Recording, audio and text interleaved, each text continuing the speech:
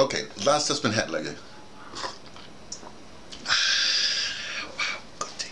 A lot of stuff been happening. When I say a lot of stuff, I just mean I think people. Uh, the whole politics is very interesting. First of all, politics is the only form of whatever, at least here in South Africa, well, a lot of places. You don't you, you don't have to have a degree or anything like that to be a politician. You just got to be able to wax poetic, you know, be charismatic, or have a whole lot of money people behind you. Anyway, but that's just to get you in front of people, maybe get your people elected. The problem is this: people don't know what they're what they're what they're voting for. Everybody thinks they're voting for um, somebody's going to deliver this or deliver that or whatever happen. Okay, they may may not deliver, but what you are really voting for is a manager. These, when I say the big boys, I'm not talking about the bureaucrats in the middle. They never change. Well, they, they whatever. The people up top, you know, they're basically managers. They got to manage. I mean, it's like a, oh man, okay. Remember this, this uh, what I talk here on this channel is this is about my life and trying to mix it in with ADOS and a bunch of other things and, and to make people make me understand. I don't care about anybody else because nobody listens to the channel anyway. I shouldn't say that way. Anyway, here's the thing. Let me tell you how I became uh, arts director for WBAI Radio. Okay, which I still hold the title as arts director emeritus. I think the paper's there someplace. I'll find it. Okay, here's the thing. I'm one of those people that, I mean, I do what I do. I don't bother nobody. I don't want nobody bothering me. I'm like, remember Dick Gregory said, you know, uh, I would never uh, put a, uh, take a pork chop off of your plate. Don't put a pork chop on my plate. You know, that kind of thing. Okay. Here's the thing. Uh, I really love my art. What what I do, art, uh, audio drama is what I do. I'm in theater, whatever. Been theater, radio, drama, radio, or the whole thing. I really, I really just, I'm, I'm, I'm, I'm infused with it, you know? How they say, if you cut me, I bleed, audio, drama, blah, blah, blah, blah, blah. Okay. So, uh, audio drama is part of the arts department at WBAI. Uh, arts department used to, it used to be the music department separate from the uh, critics and, and, and like drama and literature. It's called, it was called the drama and literature department. Know, um, and the music part was was separate. But then some budgetary whatever happened, you know, and they they collapsed the department because you know because that's what they do, you know. Well, let's say, oh, sorry. Uh, they collapse the pump. Did I steal some myself? That's what they do, okay? So, so therefore now you have three departments in one. Three, and the two departments were they were big departments, you know. Okay, so when that happened, that happened. Then, uh, in fact, when I came, Rick Harris was the arts director. Okay, so that goes on. Then they just get arts directors, but nobody's really qualified for the job. So after time, after a time, I'm skipping a bunch of years now. After a time, they was up for another arts director. The, the one that we had, all he did was uh, he liked to go to he liked to because you go to art openings and stuff like. He used to go to art openings and eat the, you know eat crackers and cheese and wine. He, he was he was doing. Mm, mm, mm, you know what I'm saying? Anyway, so. Uh, so I was tired, man. I, am going like, please, man. And then they had another. Then oh no, no, they had him. Who I'm just. It doesn't matter. And a black woman. Had a bunch of bunch of people there. So I said, so I finally said, look, you know, because I, I was also, by that time I was production design, uh, production design. I was doing producing, I was engineer, producing the news and blah, blah, blah, blah, engineering the news and all that stuff. Um, and I, I had this scheme, right? I was gonna work it, so I worked three days a week. Then I'm off four. I go back to school. I can do a bunch. Of, I had this really good idea, but then with the whole stuff was happening, the arts department, my beloved department. So what I did was I said, okay, at least because because you know when they say they're going out looking for directors, they, they just announce it someplace. They wait for who to come in. I don't think that's the way you recruit. You, you have to go out and look for people and you head you know headhunt. That's you just call headhunt, but that didn't happen. So I said, okay, at least whoever comes in becomes becomes the arts department. You know, the head the head of the arts department. You know, my department uh, the part I was with all the musicians, they had to at least beat me on, on, on paper. That was beat my resume, you know. And I had no manager, well, stage manager, so that's management, I guess, it's management. So I just put it in and forgot about it. I was working on, oh, I was working, I was doing. No, this they, they, they took nine, they took a long time. Anyway, uh, I do remember that when I was called in for an interview, I totally forgot that I did that. And I was, in fact, I was heavy working on this. I was heavy working on my my opus. My, I don't know if you call it opus. The Outside. That's the that's the novel. That's the uh, Richard Wright book novel. Well, actually, what I did. This is actually two plays. Um, there's, there's a play. Uh, the, the, uh, the, first book he wrote was a short story called. Um, uh, what was it called? Gee, the first part is Dread.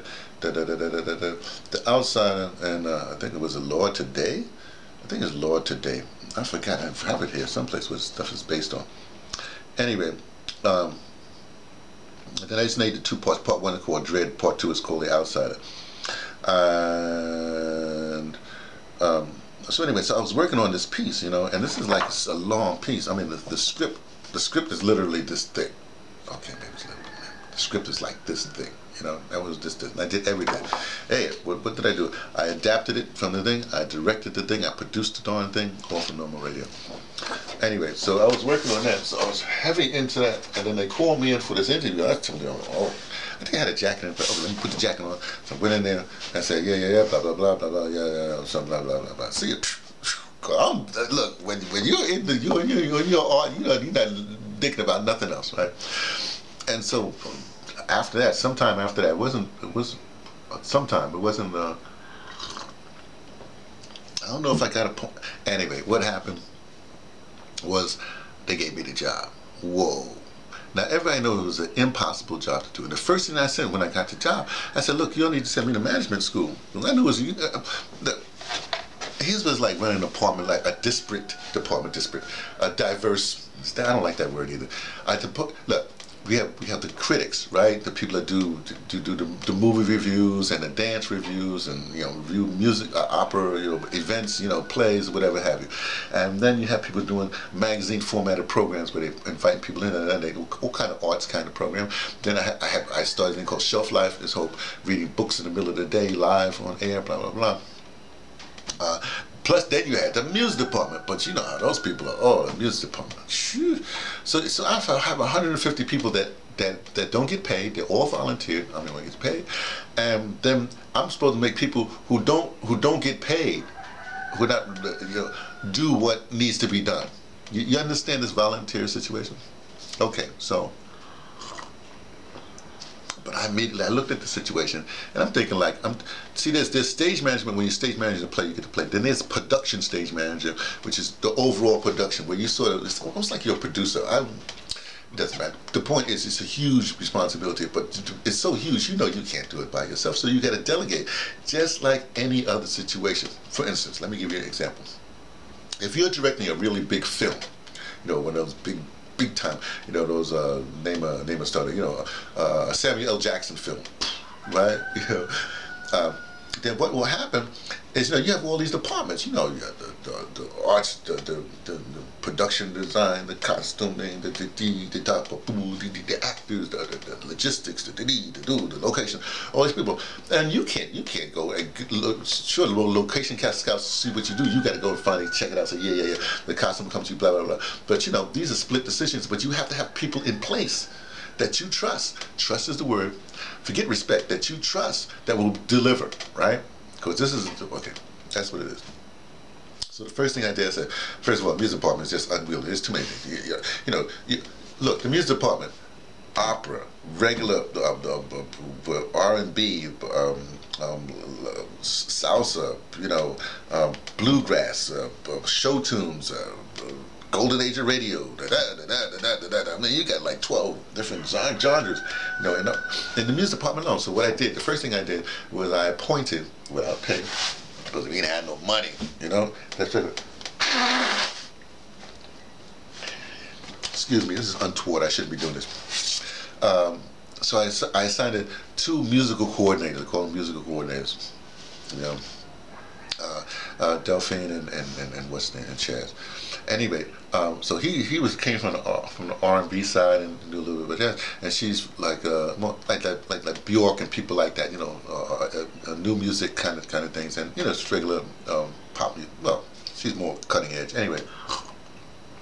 So they were happy to do that because a lot of music comes in all the time. Then you got to get it to the right producers.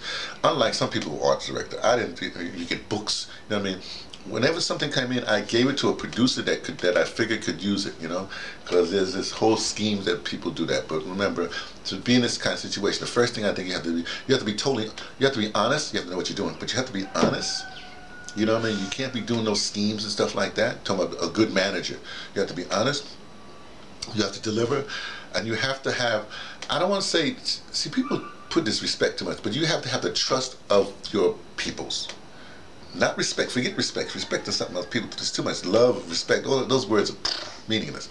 But you must have a trust relationship. Everything that goes wrong in the world these days, I believe, has to do with, with, with deception, right?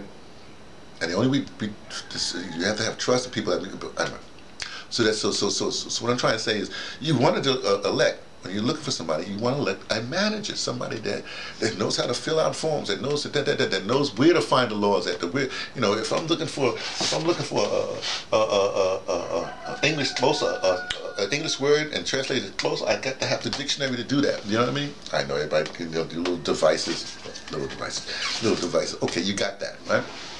So there's a problem. Excuse me. So there's the thing.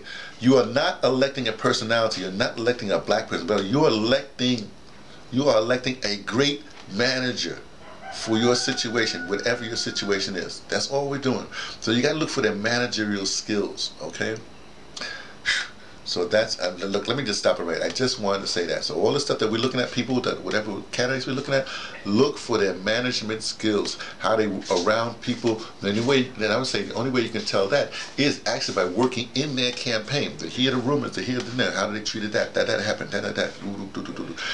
Then you know if you have a good manager. So there you go. Uh, uh, some advice of what we're, we're really what we, what we are really looking for.